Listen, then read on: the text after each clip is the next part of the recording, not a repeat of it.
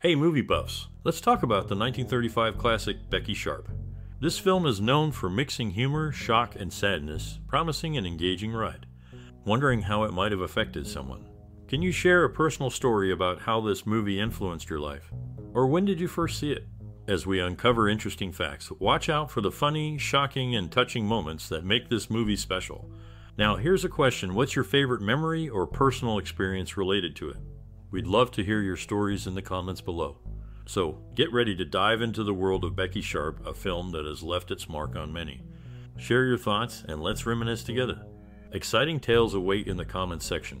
Stay tuned for more insights. In the 1935 film Becky Sharp, the lead actor, Miriam Hopkins, delivers an outstanding performance as the main character. Despite any previous doubts about her acting, she truly shines in this role. The whole cast does a great job adding to a story that avoids too much drama, which was common in movies back then. The conversations feel real and avoid using cliches that might take away from the experience. Her portrayal of the main character captures her ambitious and sometimes unethical nature. She plays a person who wants to move up in society, even if it means using charm to do it. This depiction was quite bold for its time because of the rules in place, but it adds depth to the story that still holds up today. While some might say Hopkins' performance in another film, Barbary Coast, is better, her role as the main character in Becky Sharp is still memorable. The movie explores how the character uses manipulation and ambition, which resonates with audiences, making it a standout in film history. Overall, Becky Sharp tells an interesting story, brought to life by Hopkins' compelling acting and a supporting cast that also does a great job. The movie's exploration of ambition and manipulation ensures it remains relevant through the years, earning its place as a classic. In 1935, a movie came out that used a new way to show color called three strip Technicolor. But some people didn't like how the colors looked. They said the actors looked weird, like they had been boiled and covered in mayonnaise. Alison Skipworth did a good job playing Miss Crawley, she stayed seated the whole time, which added something interesting to her character. The main actress, Miriam Hopkins, got criticized because she was older than the character she played. She was 32, but the character was supposed to be in her 20s. Some people thought Fay Wray, who was 27, would have been a better choice. But the studio stuck with Miriam Hopkins because they thought her personality and public image were right for the part. They even gave her lessons to soften her southern accent. Overall, the movie made a big impact because it was one of the first to use Technicolor, even though some choices about the characters were questioned. It was a moment where storytelling and movie technology came together. A play named Becky Sharp debuted in New York City in 1999 and had a successful run of 116 performances. Despite its early success, the play had three revivals, with the last one in 1929. Another production called Vanity Fair started in New York in 1911, but it had a different author. In the 1935 film version, a Broadway actress, Mrs. Leslie Carter, made an uncredited appearance as a woman. Interestingly, five years later, Miriam Hopkins portrayed Mrs. Carter in a Warner Brothers film. The original director, Lowell Sherman, faced a setback when he passed away from double pneumonia in December 1934, shortly after filming began. Despite his declining health, Sherman remained committed to the project. Rouben Mamoulian took over as director, choosing to discard Sherman's footage and start fresh. After Sherman's passing, Pauline Garon, his wife at the time, assumed the role of Fifine in the film. Despite the challenges during production, the movie eventually came to fruition under Mamoulian's direction. In the 1935 movie Becky Sharp, despite its lavish period costumes, there is no credited costume designer. Frances Dee, sister of Margaret Dee, shares the screen with her in the film. Miriam Hopkins, known for her roles in significant films such as Trouble in Paradise and The Heiress, also appears in Becky Sharp. The movie, along with these others, has been selected for preservation in the National Film Registry by the Library of Congress for its cultural and historical significance. These details add layers to the film's legacy and provide insight into the talent involved both on and off screen. Becky Sharp was a groundbreaking film that revolutionized filmmaking by being the first full length feature to use the innovative three strip Technicolor process. Before this, Technicolor had only been used in shorter films and segments. This process separated the film into three distinct color registers, each corresponding to a primary color, resulting in vibrant and lifelike colors throughout the entire movie. The decision to explore color filmmaking came after the success of the short film La Cucaracha in 1934. Following this, John Hay Whitney and CV Whitney established Pioneer Pictures with the goal of producing color films, and Becky Sharp was their first project. Finding the lead role faced some challenges. Miriam Hopkins was initially considered but dropped due to salary disputes with RKO. This led to considerations of Myrna Loy and Claudette Colbert. Despite RKO's initial offer to Colbert, she declined due to dissatisfaction with the script. However, after negotiations, Colbert eventually accepted the role. In summary, the movie made cinematic history as the first feature film to fully utilize the three strip Technicolor process, marking a significant milestone in filmmaking. Despite casting challenges, the production paved the way for future color films and showcased the potential of this revolutionary technology. In 1935 CV, Whitney invested $950,000 to bring the film to life, as reported by Variety. The expenditure reflected a significant commitment to the production of Becky Sharp. During a ballroom scene in the film, an uncredited Pat Nixon, then Patricia Ryan, marked her feature film debut. At that time, she was an occasional movie extra while pursuing her education at USC. Despite having a single spoken line in the film, it did not make the final cut. Notably, Pat Nixon would later become the First Lady of the United States from 1969 to 1974 as the wife of Richard Nixon. After its initial release, Becky Sharp underwent a twist of fate. In 1945, when Film Classics decided to re release the movie, it was not considered significant enough to warrant reprinting in Technicolor. Instead, prints were struck in the more economical and inferior Cinecolor process.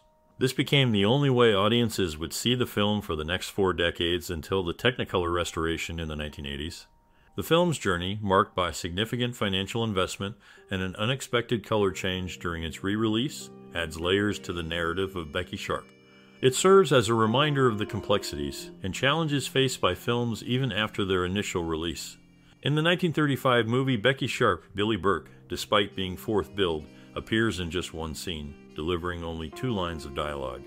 Meanwhile, the star of the film, Miriam Hopkins, graces the screen throughout the entire 84 minute runtime. Interestingly, Rouben Mamoulian, who took over direction following Lowell Sherman's sudden passing, initially praised Sherman's work. However, Mamoulian decided to reshoot the entire film, scrapping all of Sherman's footage. When asked if he had to remake the film, he replied, No, Lowell Sherman's work was so good that not a scene he filmed will be destroyed. These insights shed light on the behind the scenes dynamics and the meticulous approach taken to ensure the film's quality. Restoration of the film Becky Sharp took place in 1984 by the UCLA Film and Television Archive, overseen by archivist Robert Gitt. Rouben Mamoulian attended the premiere of the restored print at the Academy of Motion Picture Arts and Sciences Theater in Beverly Hills.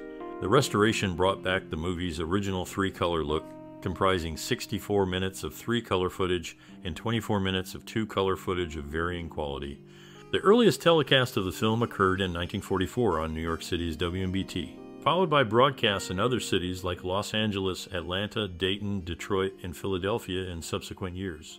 These telecasts were in black and white. Before production, the film was referred to in some news items as Vanity Fair.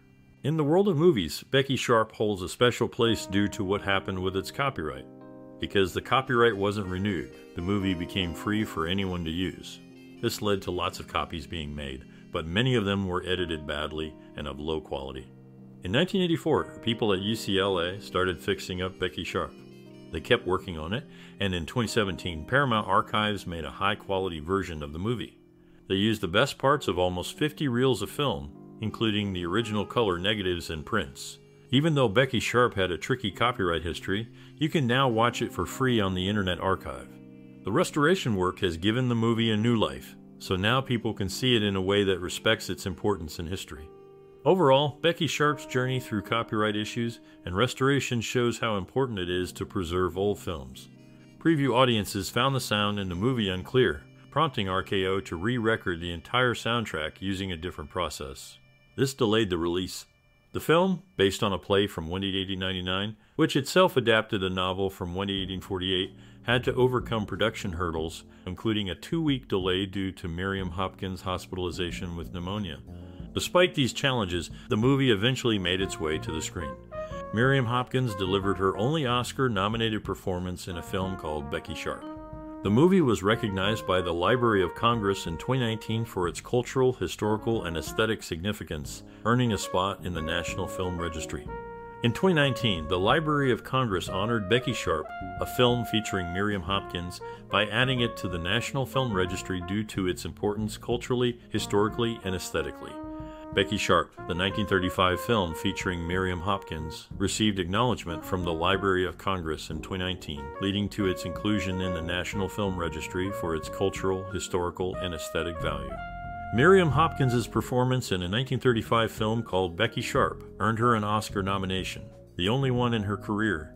The movie was recognized by the Library of Congress in 2019 and added to the National Film Registry for its significance. Miriam Hopkins earned an Oscar nomination for her role in Becky Sharp, a film recognized by the Library of Congress in 2019 for its cultural, historical, and aesthetic significance, securing its place in the National Film Registry. The movie featuring Miriam Hopkins, Becky Sharp, earned her an Oscar nomination, marking a standout moment in her career.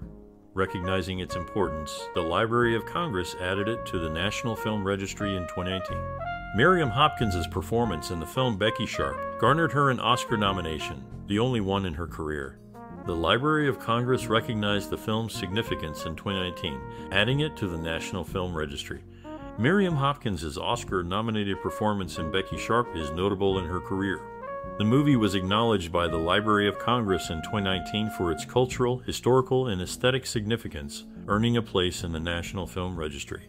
Miriam Hopkins earned her sole Oscar nomination for her performance in Becky Sharp.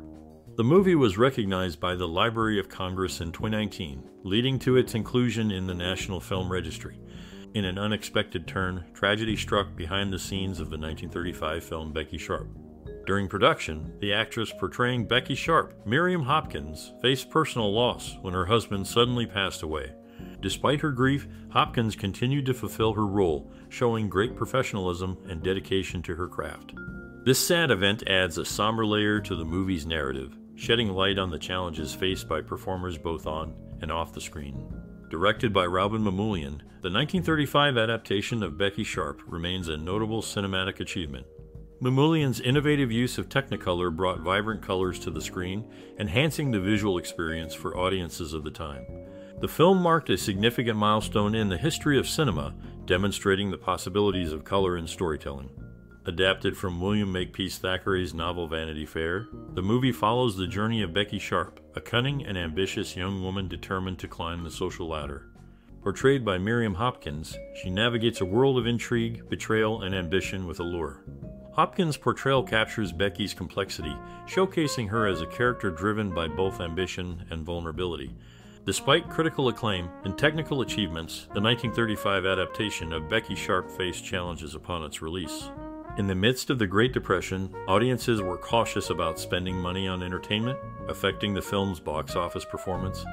However, the film's impact endures as a demonstration of the artistry of its creators and the timeless appeal of Thackeray's tale.